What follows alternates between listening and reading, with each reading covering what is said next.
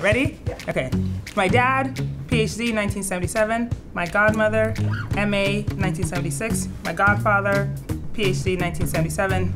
Future, Wes alum. What, what year will you be? I don't know, but she's coming.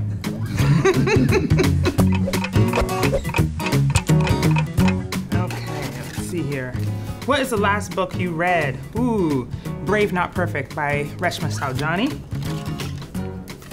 Worst job you ever had? Uh, I was a pet groomer in New York when I first moved to the city after Wesleyan. The last movie you saw in the theater, I think it was Black Panther, actually. I was dressed up too.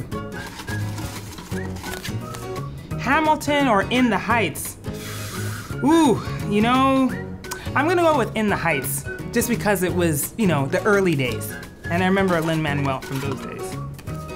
Fun nicknames, yours or others? I mean, people call me all sorts of things. uh, but yeah, maybe Boz. My dad has called me Boz since I was a baby, so. Landline or cell? Cell. I have three, so. And I don't even know what my landline number is. What was your first job? what was your first job after Wes? It was in the admissions office at Wesleyan. How many did I get through? One, two, three, four, five, six. I did pretty good.